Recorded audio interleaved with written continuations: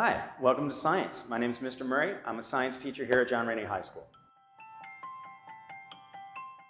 At the grade 9 level, we offer general science.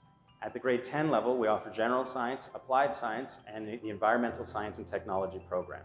In grade 11, we offer both chemistry and physics, as well as a grade 11 biology option class. Our science program offers a diverse curriculum that teaches us everything from nature to outer space. We also get to learn about how things work around us, which is very important in our lives. So here at uh, John Rennie, the John Rennie Science Department focuses on teaching science in a, in a hands-on way involving lots of critical thinking and problem solving. And we get to do that in our labs that we have. We have technology labs and science labs, and even our classrooms turn into labs to be able to explore science.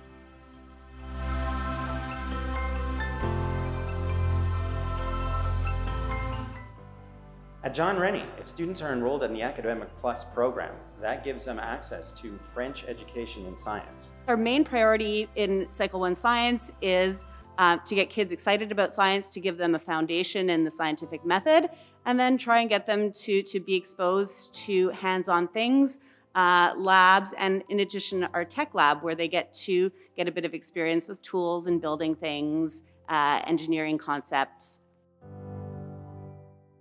my favorite thing that I've done in science so far is a project that we did around a week ago. Uh, we used the technology room, which allows us to use um, more materials than we would in a classroom. So we made a water mill out of recycled materials, but the challenge was uh, putting a simple machine in it. And that really taught us how things work. At John Rennie, there's something here for everyone.